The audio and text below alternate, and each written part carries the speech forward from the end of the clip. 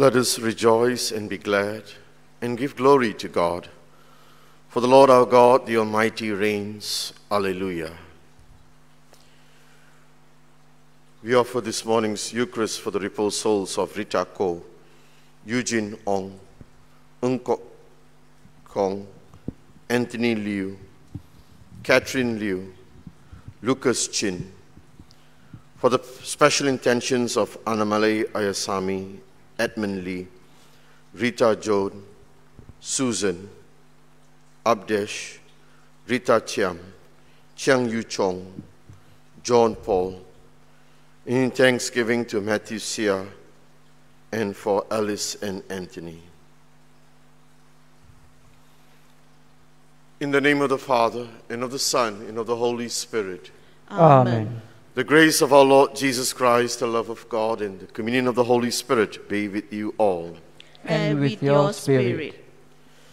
As we praise ourselves into the whole experience of the heavenly mysteries, and as we seek God's presence in this Eucharist, let us prepare our minds and heart by calling to mind our sins.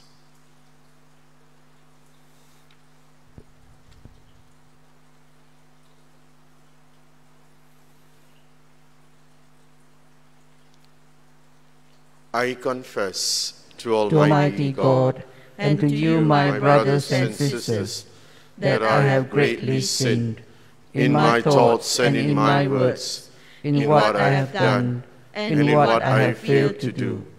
Through my fault, through my fault, through my most grievous fault.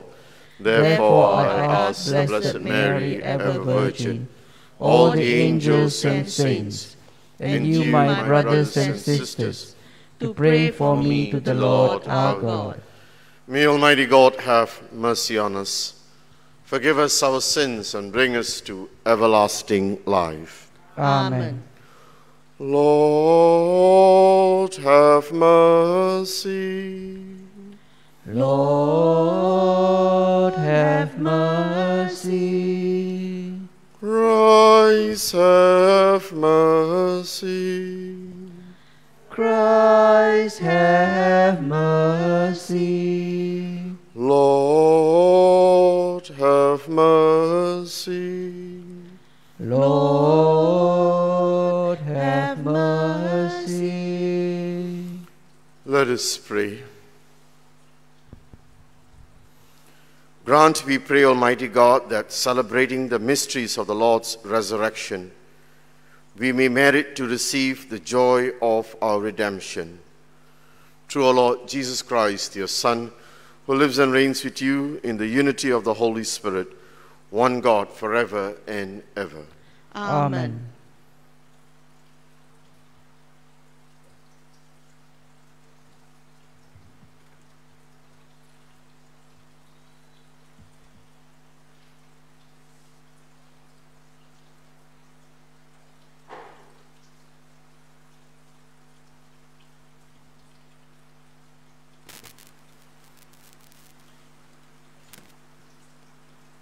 A reading from the Acts of the Apostles.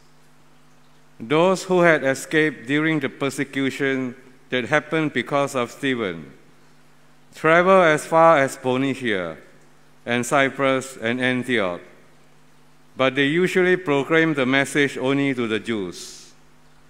Some of them, however, who came from Cyprus and Cyrene, went to Antioch where they started preaching to the Greeks proclaiming the good news of the Lord Jesus to them as well. The Lord helped them, and a great number believed and were converted to the Lord.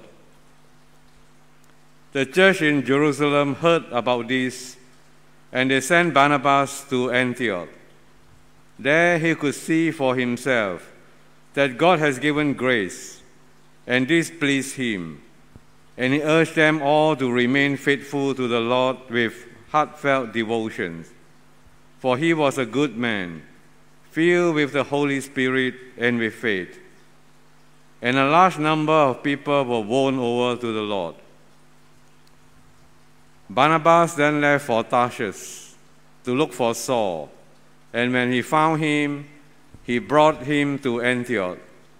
As things turn out, they were to live together in that church for a whole year, instructing a large number of people. It was at Antioch that the disciples were first called Christians. The word of the Lord. Thanks be to God. Oh, praise the Lord, all you nations. Oh, praise the Lord, all you nations. On the holy mountains in this city, cherished by the Lord, the Lord prefers the gates of Zion to all Jacob's dwellings. Of you are told glorious things, O city of God. O praise the Lord, all you nations. Babylon and Egypt I will count among those who know me. Philistia, Tyre, Ethiopia. There will be her children, and Zion will be called mother, and all shall be her children. Oh, praise the Lord, all you nations. It is He, the Lord Most High, who gives each his place. In His register of people He writes, These are her children, and while they dance, they shall sing. In you shall find their home. Oh, praise the Lord, all you nations.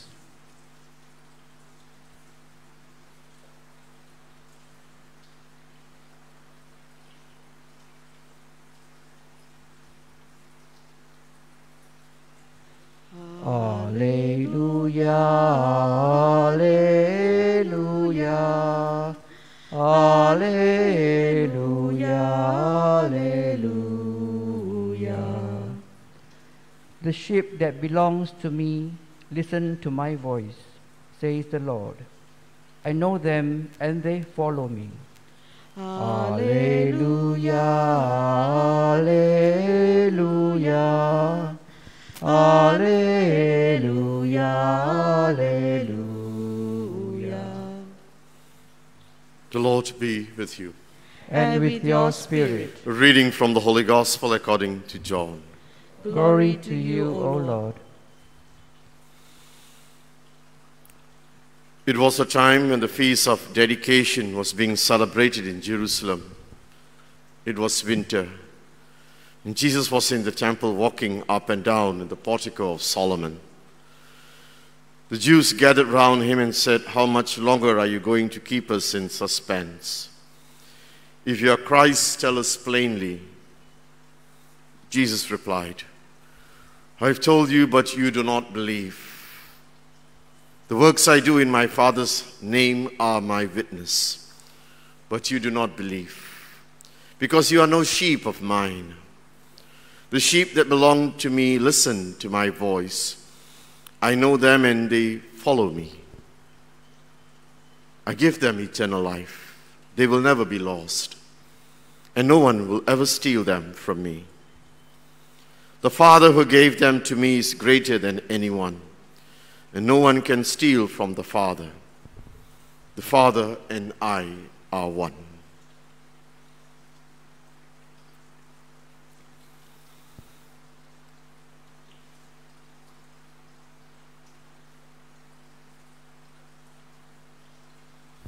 The Gospel of the Lord. Praise to you, Lord Jesus Christ. Another cold, wet morning. If you look at the gospel text today, it was winter, it was cold, and that is why Jesus was walking up and down to keep himself warm at the portico of Solomon. It was cold in winter towards the feast of the dedication. Yesterday we spoke about the gate, the open experience of the faith, drawing people into the sheepfold. Today we step into another area that is very close to the heart of a disciple, the voice, vocare, the sound of the shepherd. It is how we are able to draw people into the sheepfold, to invite others to be a part of the sheepfold. Jesus says very simply and very plainly today, they listen to my voice and they follow me and they become of the greater experience of the sheepfold. In the journey of a disciple, as I said, one of the most important experience, the most need is to listen to that voice. The ability to allow people to listen to the voice of the shepherd. You find this whole description very beautifully in the first reading. Just after the death of Stephen, the persecution of Stephen, everything went in disarray, everything was scattered, everything was in a state of helplessness and hopelessness. And everyone ran for their own to different parts of Cyprus and Sicilian. They went on. And some went down to Antioch. And they refused to give this voice to the Greeks, only to the Jews. But some of them slowly allowed that voice to reach the hearts of the Greeks in Antioch. And they became Christians and they were embraced into the sheepfold. In the midst of all this, there was a wonderful man by the name of by the name of Barnabas. So you are awake. By the name of Barnabas. Now my next question. Do you know what Barnabas means?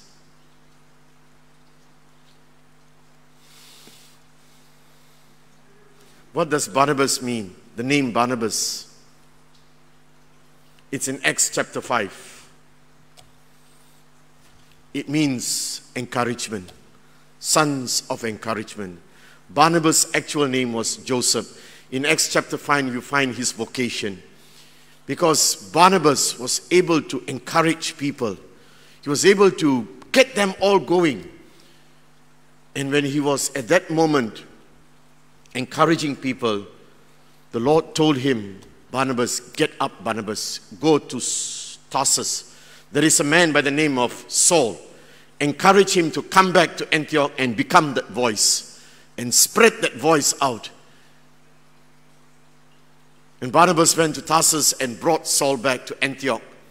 And you know the story of Saul, the great Paul, to fan the flame of the voice.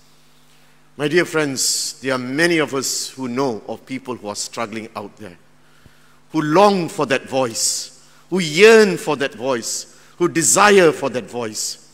It could be just a smile, a simple hello by picking up that phone, by just sending a little note on your WhatsApp and says, How's your day today? There is a cry of emptiness, of isolation, of disarray in people's life today. They long to return. They want that encouragement. They want the face of mercy. They long for that face of mercy. Barnabas, the encourager, was able to fan that voice and to draw that sheep into the sheepfold. I invite us today, this morning, you will find someone along. It could be at the marketplace, it could be one at your home, it could be at your office, it could be someone on the streets. The face of mercy is out. You need to bring that mercy to them to allow them to see the voice of God, to enable them to just to listen to that voice of the shepherd.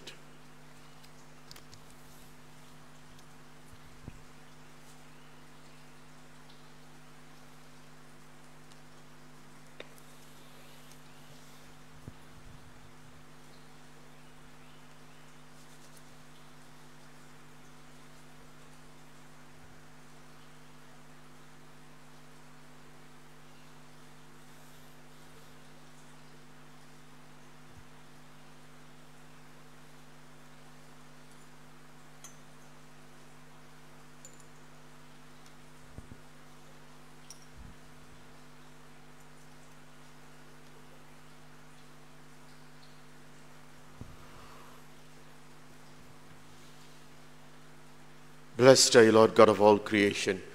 For through your goodness we have this bread to offer, which earth is given, in human hands have made.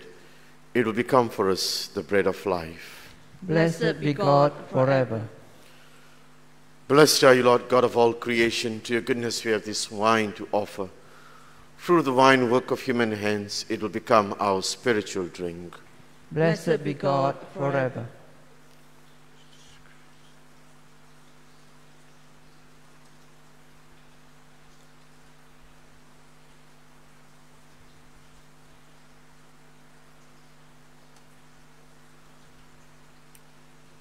Pray, my dear sisters and brothers, that my sacrifice and yours may be acceptable to God, the Almighty Father. May the Lord accept the sacrifice at your hands for the praise and glory of his name, for our good and the good of all his holy church. Grant, we pray, O Lord, that we may always find delight in these paschal mysteries, so that renewed, constantly at work within us, we may be the cause of an unending joy. Through Christ our Lord. Amen. The Lord be with you. And with your spirit, Lift up your hearts. we lift them up to the Lord. Let us give thanks to the Lord our God.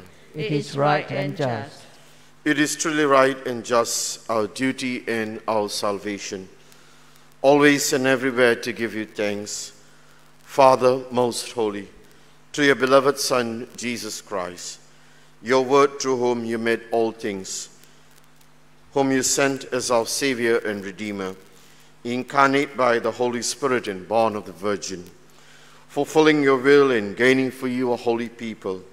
He stretched out his hands as he endured his passion, so as to break the bonds of death and manifest the resurrection. And so, with angels and saints, we, be, we declare your glory, and with one voice we acclaim. Holy, holy, holy Lord, God of hosts. Heaven and earth are full of your glory. Hosanna in the highest. Blessed is he who comes in the name of the Lord. Hosanna in the highest.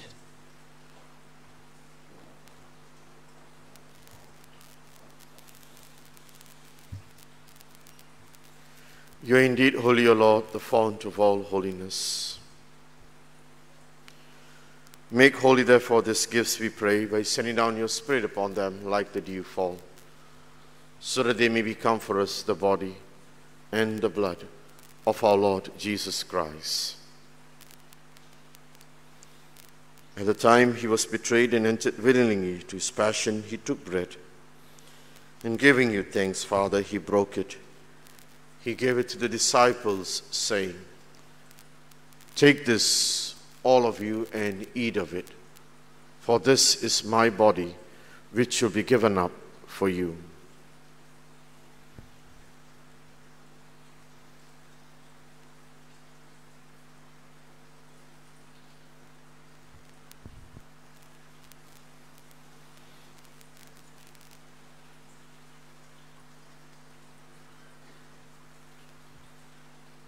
In a similar way, when supper was ended, he took the chalice. And once more giving you thanks, he gave the chalice to his disciples, saying, Take this, all of you, and drink from it. For this is the chalice of my blood, the blood of the new and eternal covenant, which will be poured out for you and for many for the forgiveness of sins. Do this in memory of me.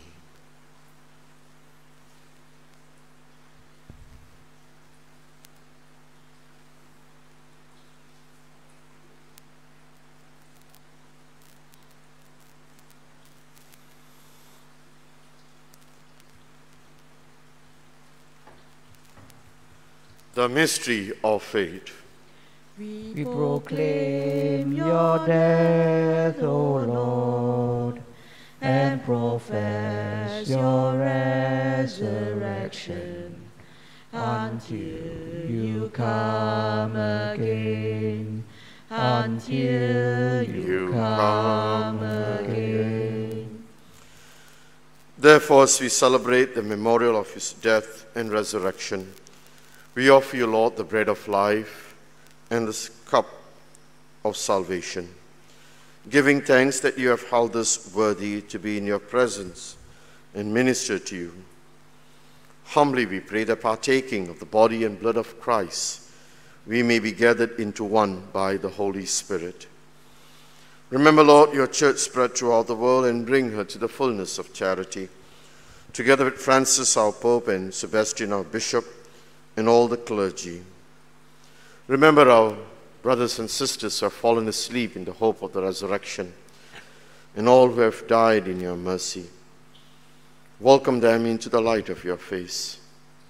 Have mercy on us all, we pray, that with the Blessed Virgin Mary, the Mother of God, Blessed Joseph, her husband, with the blessed apostles, with Saints Faustina and John Paul II, and all the saints who have pleased you throughout the ages, we may merit to be co heirs to eternal life, to praise, to glorify you, through your Son, Jesus Christ.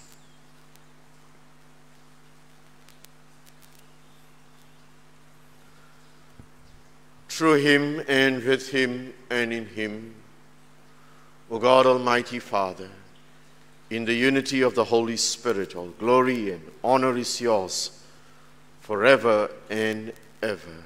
Amen.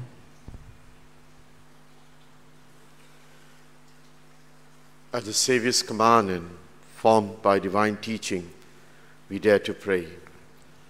Our Father, who art in heaven, hallowed be thy name. Thy kingdom come, thy will be done on earth as it is in heaven.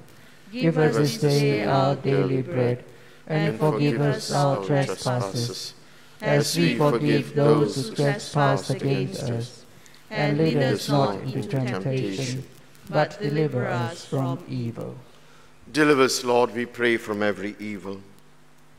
Graciously grant peace in our days, that by the help of your mercy we may be always free from sin and safe from all distress, as we await the blessed hope and the coming of our Savior, Jesus Christ.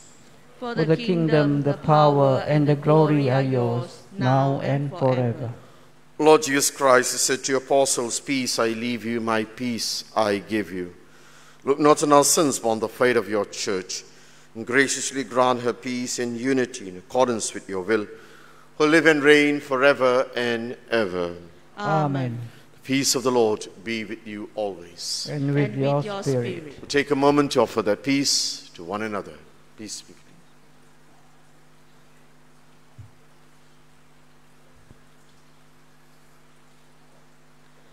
Lamb of God, You take away the sins of the world, have mercy on us.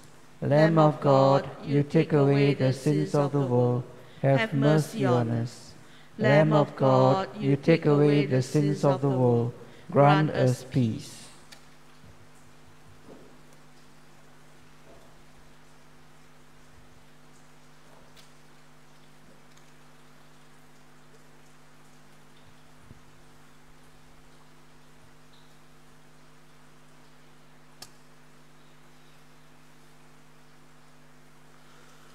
Jesus Christ, sweet mercy, goodness, and mercy, and mercy.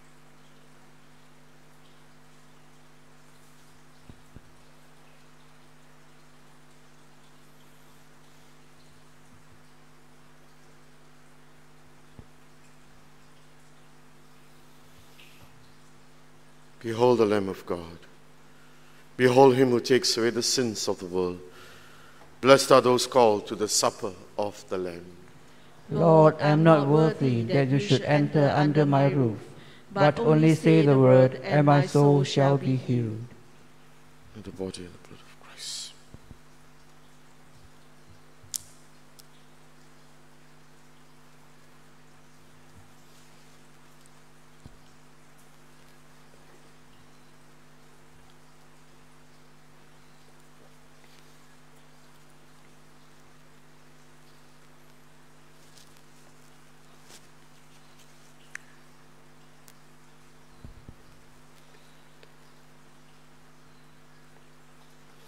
The Christ had to suffer and to rise from the dead, and so enter into his glory. Alleluia.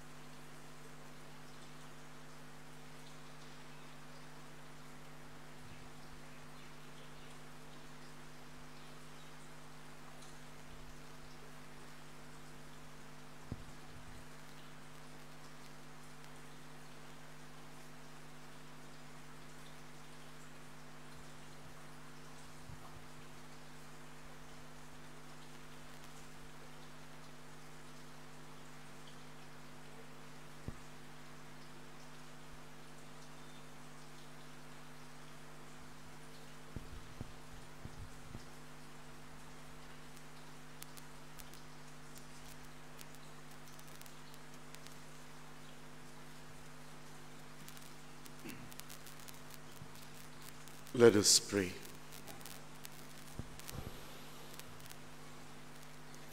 Hear, Lord, our prayers this morning, that this holy exchange by which you have redeemed us may bring us your help in this present life and to ensure for us the eternal gladness. Through Christ our Lord. Amen. The Lord be with you. And with your spirit. And may the Almighty God bless you, the Father, the Son, and the Holy Spirit. Amen. Go in the peace of Christ, glorifying the Lord by your lives. Thanks be to God. Prayer for all. God, God, our merciful Merciful Father, Father, source of healing, cast the light of health and well-being on those who have been exposed to coronavirus, those who have contracted the disease. Bless them, protect them, and bring them speedily to full recovery. Source of life, grant public health and government officials the strength to act swiftly and decisively, with compassion and understanding, in service to humankind, fighting this outbreak, threatening the lives of our brothers and sisters, nations and communities, young and old. God of the present moment, bring hope and courage to all who wait or work in uncertainty. Bring hope that, that you will make them the equal of whatever lies ahead. We pray all this in the mighty name of Jesus, through the intercession of our Blessed Mother Mary. Amen. Have a blessed day and please stay safe. Same to you, Father.